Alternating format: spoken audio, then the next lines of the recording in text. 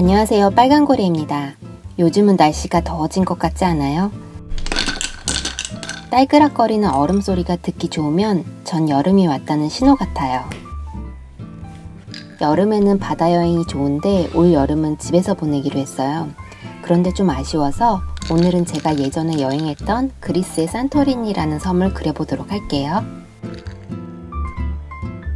본격적으로 들어가기 전에 아이패드로 미리 한번 그려봤는데요. 가운데 포인트가 살짝 죽어서 사이즈 조절이 좀 필요한 것 같아요.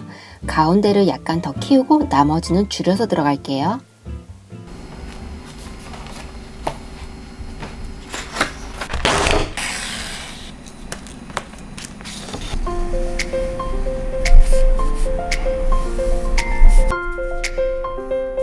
산토리니 섬은 이렇게 생겼어요. 이 사진은 그때 제가 여행 가서 찍은 거예요. 보이는 그대로 그리지 않을 거고요. 특징이 되는 건물 몇 개만 그려주고 나머지는 조화롭게 균형 맞춰서 들어갈게요.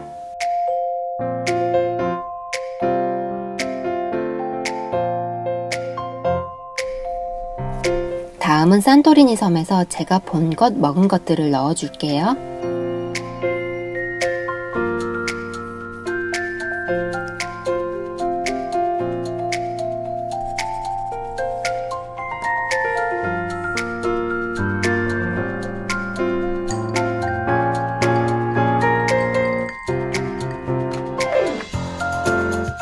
파란 지붕부터 칠할게요. 포인트가 될 부분이기 때문에 거친 연필선 터치로 멋을 내고 두 가지 색을 써서 단조롭지 않게 변화를 줄게요.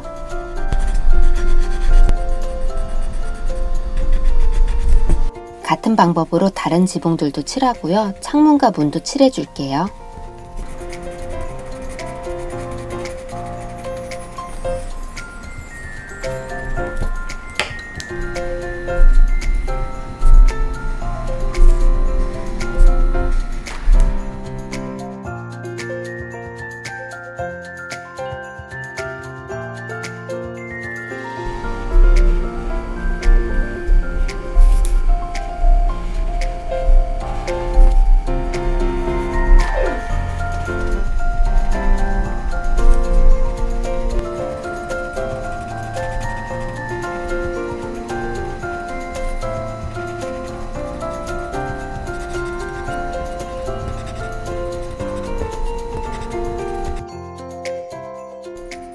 산토리니는 화산섬이에요. 그래서 검고 큰 산이 있습니다.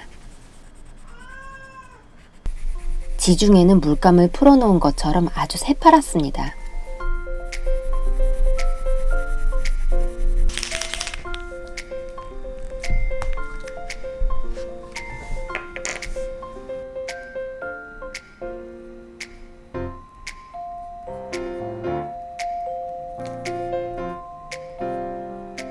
이 핑크색 꽃은 이 섬에서 자주 봤었어요. 흰색 벽, 파란색 문으로 된 집들과 보색으로 잘 어울렸었어요. 근데 꽃 이름을 모르겠네요. 그때 좀 물어볼 걸 그랬나봐요.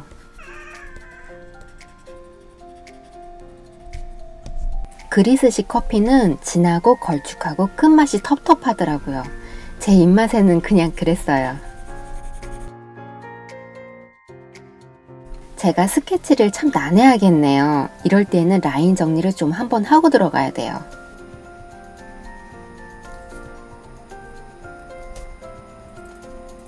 이거는 기로스라는 음식이고요. 왼쪽에는 그때 제가 했던 스케치예요.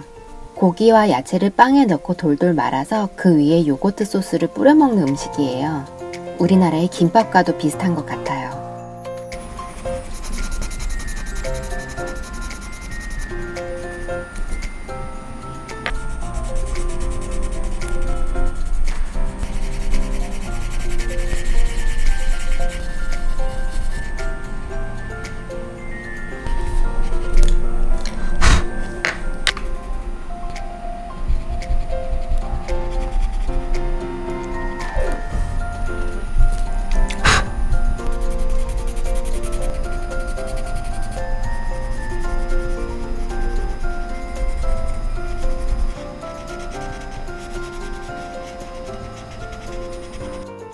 섬을 돌아다니다 보면 그늘진 곳에 이렇게 개나 고양이가 잠들어 있어요.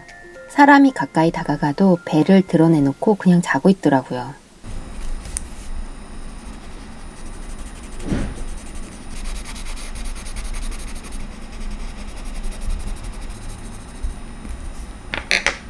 자, 이제 거의 다 끝나가네요. 타이틀을 넣고 그림자를 살짝 넣고 마무리 할게요.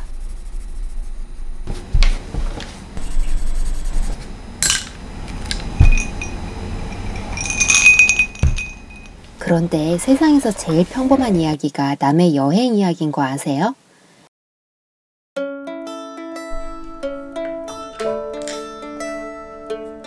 사람들은 여행을 다녀오면 이렇게 말을 해요. 내가 산토리니에 갔었는데 진짜 집은 하얗고 바다는 파랗더라. 그리고 역시 바다는 파도 소리가 좋아. 커피도 마시고 기로스라는 음식도 먹어봤어. 거기서 이런 고양이도 만났어. 여행이란 보고 듣고 먹고 만나는 일이고 이런 것은 일상에서 매일 이루어지는 일이에요. 나에게는 이국적이기 때문에 특별하게 여겨지는 것이지만 그 지역 사람들에게는 그저 평범한 일상이에요. 그러니까 오늘 내가 보낸 평범한 일상이 누구에게는 잊지 못할 특별한 여행이 될 수도 있어요. 여러분 오늘 어떤 여행을 하셨어요?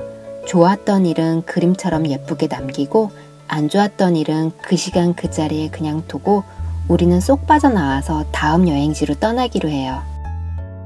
오늘 여기까지 할게요. 다음 영상도 기대해 주세요. 감사합니다.